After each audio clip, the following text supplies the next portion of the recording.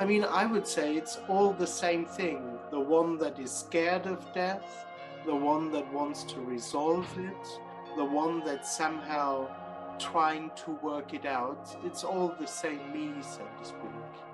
Yeah, well, even that's an answer too much. No, there's absolutely no answer to this. There's no answer to this. All of this is what seems to be happening. And there is no real you in you. And there is no real you in that whole situation. So, but yes, nothing needs to be done. Yeah, that's true. Die. Maybe you could just die or something. Uh, fear, there's just some fear. You don't really know what the fear is about. It, it could attach to any story, what you're afraid of. Um, it's just this underlying sense that something really bad can happen. Don't even know what it is, but that's just part of the fear. If it's not really conscious, but the idea is when I die, something really bad will happen. That's just how it feels. There's something that's not allowed to happen. One could also put it around there, uh, around in that way. So whenever there's death around, there's also this this this assumption that there is something really bad that's going to happen that's not allowed. Uh, and this feeling can attach itself to any story. Maybe it's not my own death, it's that, as you said, my loved ones, or a completely different story, but that's just how it feels. Don't go there. That's what the me says. Oh, there's fear, uh, there's death, there's fear of death, and the person just says, oh, this is not allowed. Don't go there. Well, I guess, well, I don't say that it doesn't happen, but yes, yeah, the fear of death is part of that which dreams to be alive. So, yeah, that's what I mean. It's somehow one bundle the, the sense of I, the fear of death, the, the need to find an answer to it,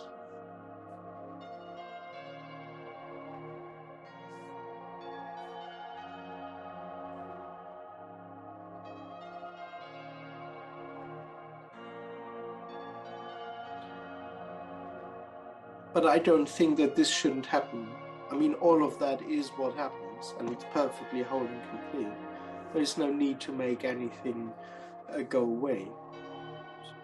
It's just apparently pointing out that the fear of death happens for an illusion, that there is no one alive who could actually die.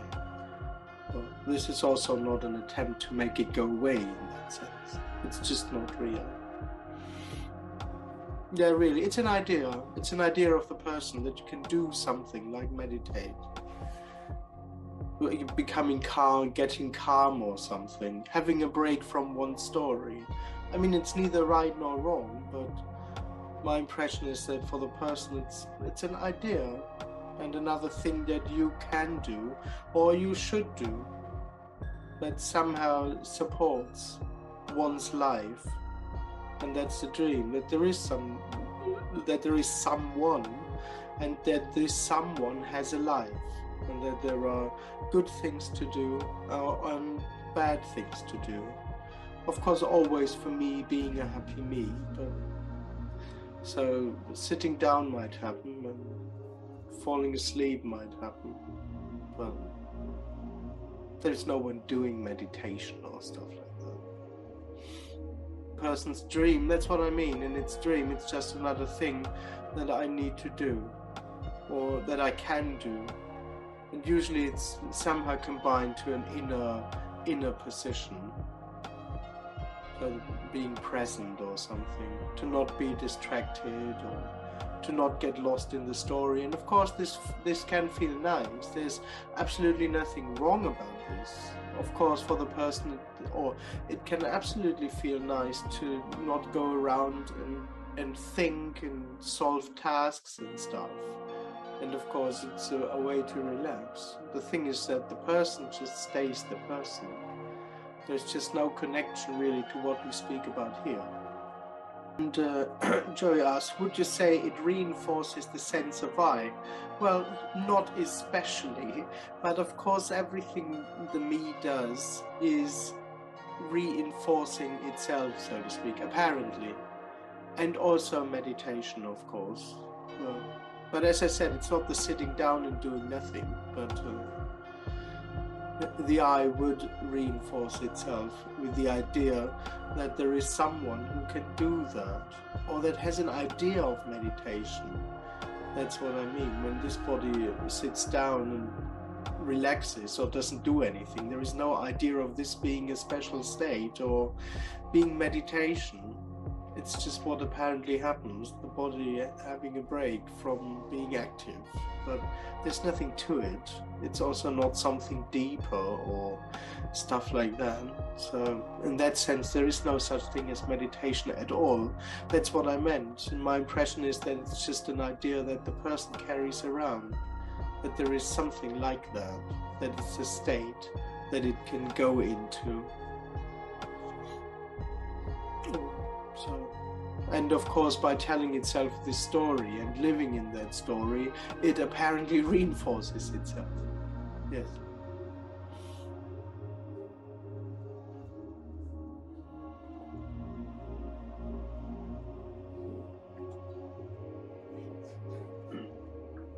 There's absolutely no need to sit down and stare at a wall or learn the lotus seed or something.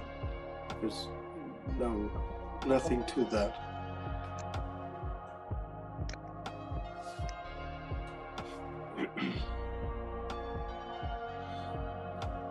Maybe the suppression of sense perception gives the I a sense of control. Uh, yes, yes, the I is the sense of control, and whatever it believes to do seems to reinforce that. And of course, that's what many people assume uh, liberation to be or fulfillment to be a state of perfect control. And of course, there are some spiritual uh, traits, tra- some spiritual people who say that you can need to learn to control anything, like your every thought, every feeling, the senses, or that you uh, have to retract your attention from everything else in order to be completely free. But still, there's no connection to this.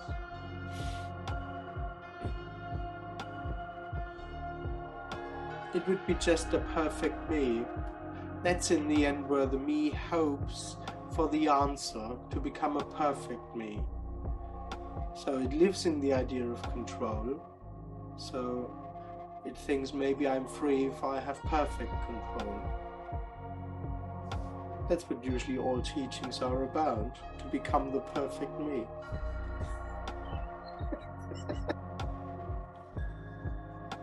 Reinforcement sounds like cause and effect. Well, I know, yes. I, I, that's why I say it's apparent and and it's funny. It's you can't really describe it because it, it's not only meant as a process, like a reinforcement as a process. It's somehow all instantaneous. The moment there is the sense of me, there is the sense of being active, and the sense of being active somehow confirms that there is a real me instantaneously. You don't have to even regard it as a process in time.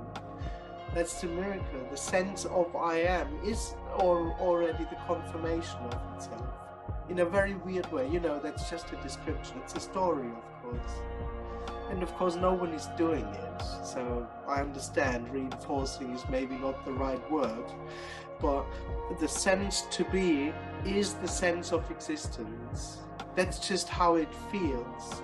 And by feeling in that way, it confirms itself and by being active and by apparently being able to create results and stuff like that. Of course, none of that is really happening, but that's just how the dream feels. And that's why, apparently, only, of course, everything the me does apparently is an apparent reinforcement of itself. Absolutely. nothing the me does apparently leads to less me. But that's exactly the opposite to what the me thinks. That's why it's somehow kind of interesting to point it out because the me thinks I need to be active, I need to be there and do something in order to become fulfilled. And in some spiritual circles, becoming fulfilled would mean to lose the I. So the me just would think, I need to do something in order to lose the I. And that's just part of the dream. Question Can past triggers stop suddenly? Oh, yes, of course, that's possible, but they don't have to stop. There's no need for anything so past triggers don't have to stop, but of course they they also can stop instantly for no reason at all. Yes, can just be wiped out of the system.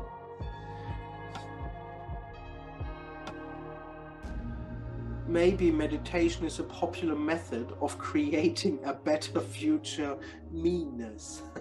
well, yes, I think that's the hope. I think that's what what uh, spiritual, te- spiritual teachers promised since hundreds of years. and there'll be a better future if everyone would meditate. I mean, as I said, there's nothing wrong with meditate with meditation, and what it does offer apparently is a break from thinking, and of course that is relaxing, and yeah, there's just no one there really.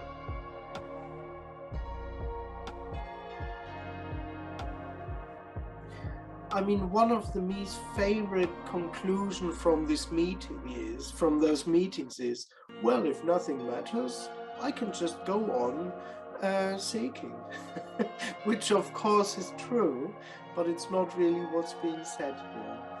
What's being said here is that there is no one. And the me turns it into, well, then I can go on meditating every day. Then I can go on desperately seeking then I can go on following a guru. Of course, you can go off following a guru. Well, no one would do that. But what's being said here is hello, there is no one. No one is doing anything. It's all part of a dream.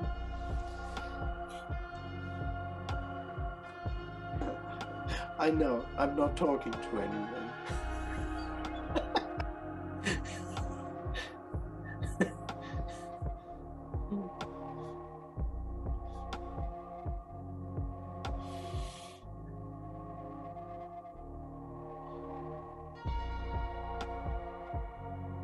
It's just what the me is actually wanting to hear. Oh yes, I'm fine. My path is okay. I'm allowed to seek. That's perfect. I can just go on being me. Which is true, of course. but there is no one really. But again, the me, the me then apparently would use this message again to confirm itself. Nothing matters, I'm allowed to be a Whew.